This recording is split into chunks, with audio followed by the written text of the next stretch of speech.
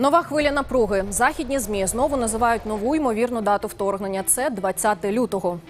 Однак, якщо до таких заяв ми звикли, то справжні занепокоєння викликають сьогоднішні новини з Донбасу. Бойовики обстріляли дитсадок і школу в Луганській області. Загиблих на щастя немає.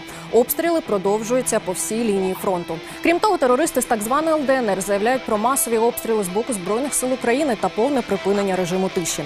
Мешканці прифронтових населених пунктів розуміють, що у разі загострення їм потрібно буде покинути домівки.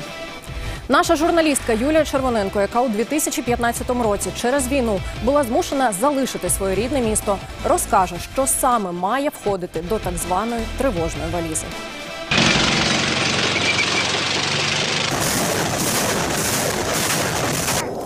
Україна в стадії війни вже восьмий рік, і ось останні півроку обговорюється загроза повномасштабного вторгнення російської армії. Чи є привід панікувати? Про необхідність зібрати так звану тривожну валізку говорять усі, кому не лінь. Це відповідальність і розуміння саме основне людини, що йому потрібно.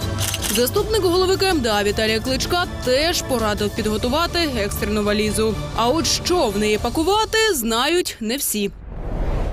Секретні матеріали спробують роз'яснити, що класти в цю валізку і скільки це буде коштувати. У Держслужбі запобігання надзвичайним ситуаціям зробили детальний опис того, що має входити в тривожну валізу. Не треба туди пхати пів гардеробу та сімейні реліквії. Треба пам'ятати, ця валіза призначена для максимально швидкої евакуації із зони надзвичайної події. Екстрена валіза це, як правило, міцний зручний рюкзак від 25 літрів і більше. У нього потрібно вмістити все необхідне для життя на кілька днів. Вміст рюкзака може коригуватися відповідно до ваших потреб. В першу чергу це документи та медикаменти на всіх членів сім'ї, зручний одяг по сезону та запас продуктів. Вантаж у рюкзак треба складати рівномірно та не на швидкоруч, щоб більшість важливих речей помістилася. А тепер розглянемо більш ретельно список речей і продуктів, які рекомендую покласти у валізу ДСНС. Давати рекомендації по списку.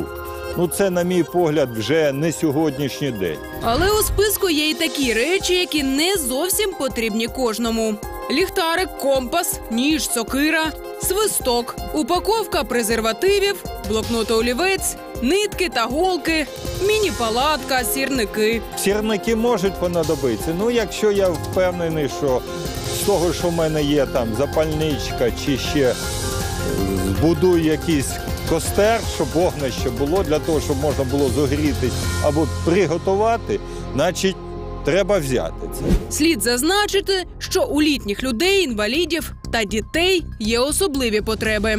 Комусь, вибачте, таблетки від тиску, комусь, е, я не знаю, просто йод і вату, комусь що щось.